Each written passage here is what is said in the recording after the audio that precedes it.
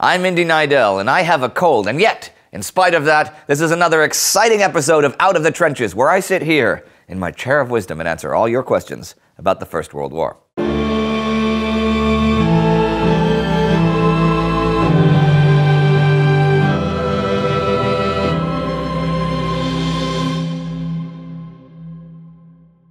Douglas McNabb writes, Mm-hmm. Hi, Indy. I have a question for Out of the Trenches. Who invented the creeping barrage as it was used extensively used during the later stages of the war? Was it a normal infantryman or a high ranking officer who invented it? Please tell me, and could you maybe do an episode on the barrage's history from Australia?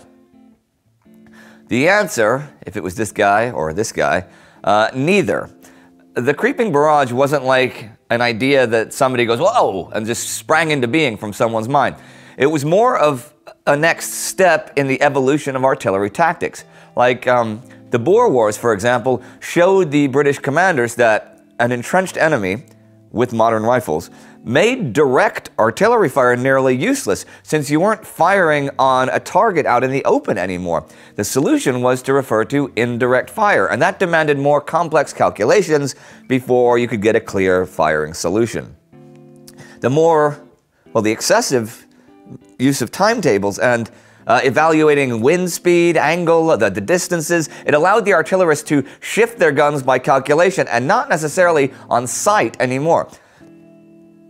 The first documented use, as far as I'm aware, of a shifting barrage was probably during the siege of Adrianople by the Bulgarians in 1913, as their artillery periodically shifted its fire from different defensive works in intervals. Some sources do go back to the American Civil War or even the Napoleonic Wars, but you really needed modern artillery pieces to effectively, effectively calculate the shelling.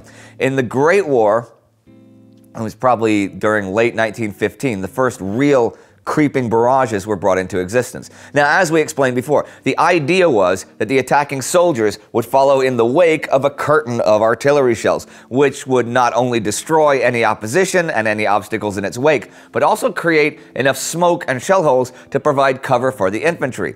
This wasn't perfected well, if it was perfected at all, until very late in the war. In the Nivelle offensive, we can see well, how badly the system was implemented, with guys like General Mangin, who boasted that his men would traverse 100 meters in a 100 meters a minute, but in cold weather over a broken, muddy battlefield, the calculations were way off. The barrage crept away before the infantry and gave the Germans enough time to come out of cover and get on their defenses again. It was a tricky thing. Andy, the M320 guy, writes, Hello from Puerto Rico, Indy and crew. Oh, hello from Berlin. Here's a question for Out of the Trenches. Uh, I was reading about the tanks in the Palestine front where I found out that of the eight tanks, only two reached their objectives. Oh, at Gaza, I guess, yeah.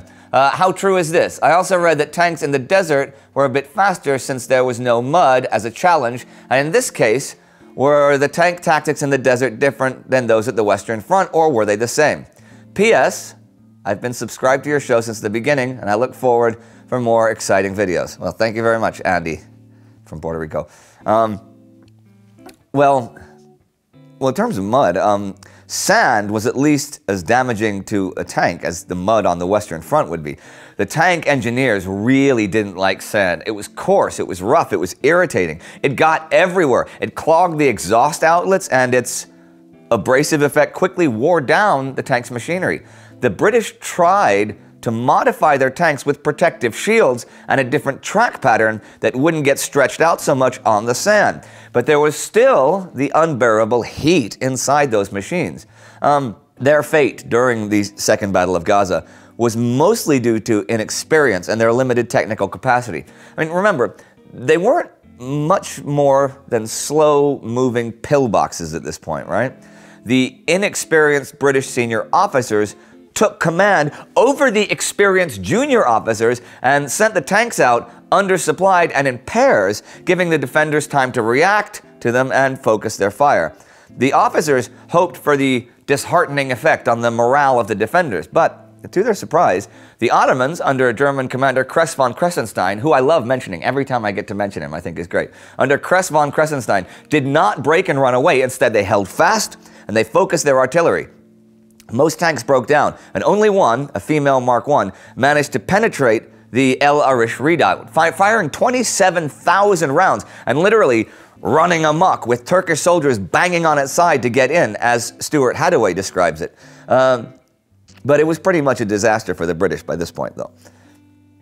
Uh, Darius Niederer writes I have a question for Out of the Trenches. Since Germany made significant gains at the start of the war and later captured more Russian territory, wouldn't it have made sense for them to just make peace and use occupied France and Belgium as a bargaining chip? I would think that at least by 1915, people would have realized that a breakthrough was not going to happen on the Western Front.